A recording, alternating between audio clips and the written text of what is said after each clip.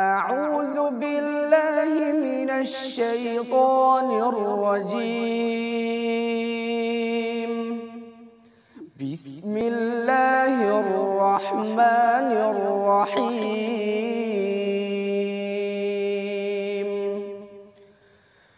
آمن الرسول بما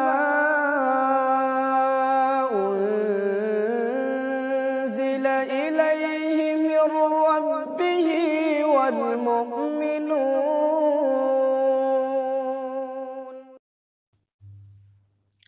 ওয়ালাইকুম আসসালাম রহমতুল্লাহ বরকাত আলহামদুলিল্লাহ আলা রাসূলিল্লাহ। আম্মা বাদ, এক ভাই জানতে চেয়েছেন, সুন্নতে মুআক্কাদা এবং গয়ের মধ্যে পার্থক্য কি? ভাই, সুন্নতে মুআক্কাদা তা- এগুলা সব সময় পড়তে হয়। যদি খাস কোনো কারণ না হয়, তাহলে তাহলে এগুলা ছাড়া উচিত না। হ্যাঁ সুন্নতে মুআক্কাদা সবচেয়ে বেশি সুন্নতে মুআক্কাদা কি? ফজরের এগুলা। তারপর মাগরিবের সলাতের পর দুই রেখাত, তারপর অন্যগুলা।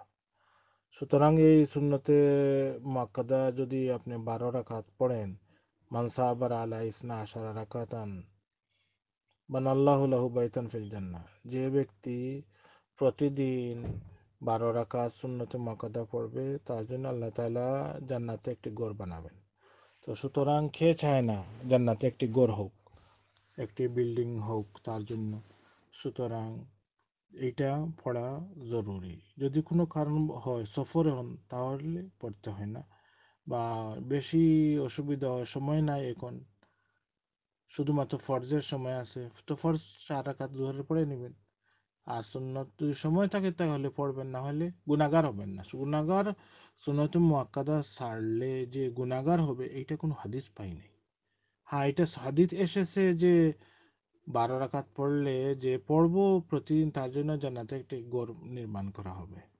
আর গয়ের মাক্কাদা এগুলা নফলের সমান। পড়েন সব আছে, না পড়লে কোনো গুণা নাই।